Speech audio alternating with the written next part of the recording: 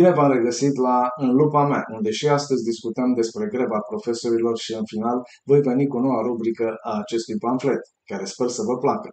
Hai să vedem ce zicea ministresa educației Ligia Deca săptămâna trecută. Unde ori mai fi găsit-o și pe dumneai pentru funcția de ministru? Parcă e din alt film, chiar dacă e profesoară și ea, după cum scrie în CV. Evaluarea națională începe pe 19 iunie. Este foarte important pentru a putea să rămânem în acest calendar, să ne putem întoarce cu toți în sălile de clasă săptămâna viitoare. Aoleu, fata mami, cea cu minte și frumoasă! În contextul în care acest lucru nu se va întâmpla, nu ne dorim asta, dar asta va fi situația, va trebui să ne gândim la prelungiri. Prelungiri de perioade de, înscriere, de închidere a situațiilor școlare, reprogramări ale probelor examenelor naționale. Ascultați, tovarășa, ați face mult mai bine să vă ocupați de niște treburi serioase, nu de fleacuri. Ceea ce noi rugăm este să nu fim puși în situația în care să trebuiască să amânăm examenele naționale. Ce tot cobești ca o cucuveamă? Au, au, au, au! Prelungiri ne trebuie cu coană. S-a terminat Superliga la fotbal, doamna ministru. Gata cu prelungirile. Mai bine te duci matale să-i sufli în ureche primului ministru ca să mai taie din banii pentru clientela politică ce pare că e nemuritoare trecând de la o putere la alta, precum o curbă aftiată după banii publici. Apoi să facă rost de bani pentru profesori, în rândul cărora ce să vezi te vei întoarce cândva dacă nu îți va găsi partidul de acum încolo job după job ca să papă și gura matale ce papun și să uite lumea că ai fost ministru. Vă era dor de Ionel? Hai să vedem cum înțelege el să se comporte de la înălțimea lui de premier beneficiar de pensie specială și general presupus plagiator. Număr până la 5 și răsuflu adânc.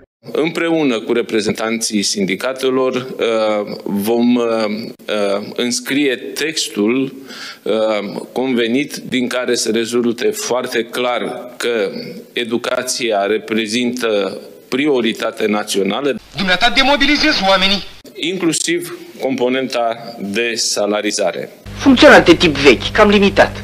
Este uh, o uh, abordare cât se poate de sinceră și onestă. Domnule, nu te juca cu cuvintele chiar așa. Uh, atât uh, față de uh, toți cei care lucrează în învățământ, de profesori, de personalul nedidactic și este uh, o abordare onestă față de noi, exprimând foarte clar în momentul de față care este uh, posibilitatea financiară acum când vorbim. Dumnezeu ai procedat ca un mitocan. Educația reprezintă o prioritate națională, zici. Auzind de peste 30 de ani această lozincă și tot ce cenușereasa PIB-ului a rămas educația.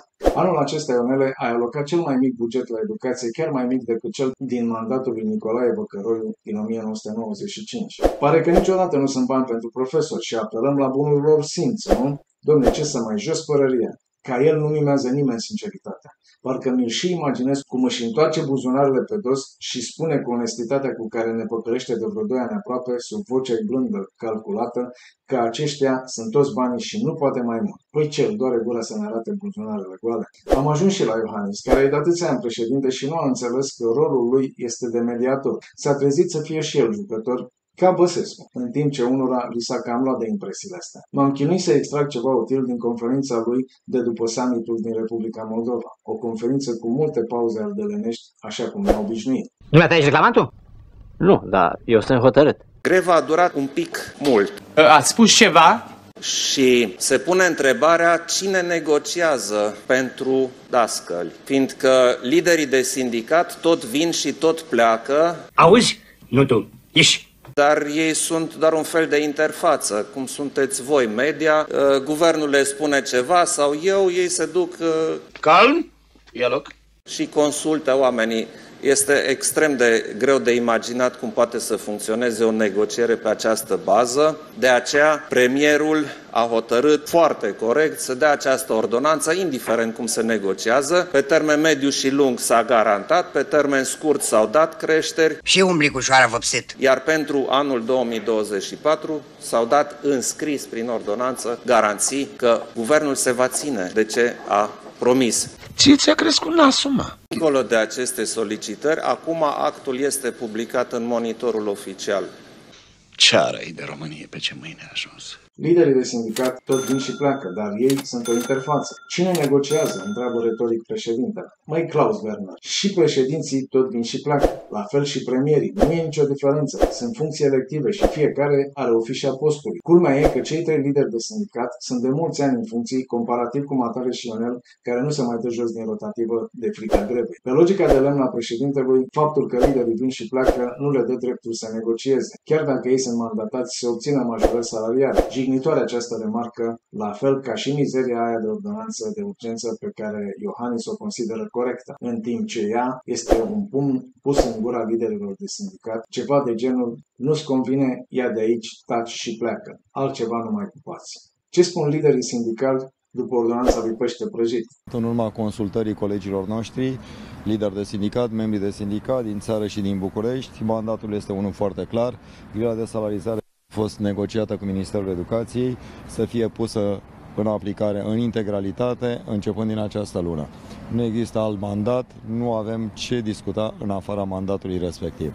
Iar de marți încolo, colegii noștri vor continua acțiunile de protest, ei fiind singuri în măsură să decidă altceva. Oamenii au semnat pentru grevă generală, oamenii decid dacă ea încetează sau nu. Așa că așteptăm concret săptămâna viitoare ce se întâmplă mai departe. Totul depinde de ceea ce vor decide oamenii pe care îi reprezentăm. Decizia le aparține. Și totuși ordonanța a fost adoptată. Încă o dată, apreciem faptul că ordonanța a fost dată, numai că orizontul de timp propus de guvern de trei ani de zile nu este acceptat. Mesajul e clar, greva continuă, pentru că majoritatea profesorilor a înțeles că locul profesorului nu este la marginea societății, ci în fruntea ei alături de medici sau magistrați. Această luptă pentru drepturile salariale e o luptă de validare a fiecărui profesor în parte, în fața elevilor, a părinților și a comunității în care profesează.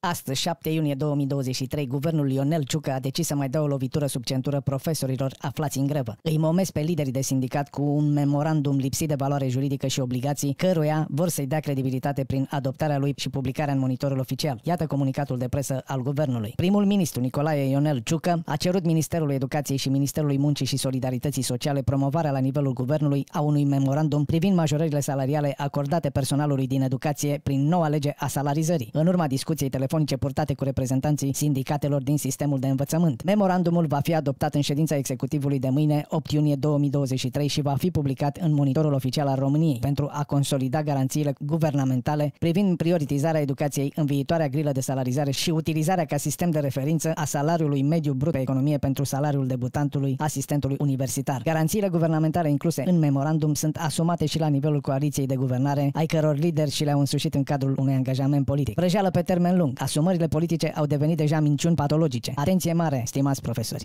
Minciuni vânători, ești numai gura de el! Această rubrică este una nouă și sper să vă placă. Scrieți-mi în comentarii cum vi se pare. V-am adus niște stupefiante.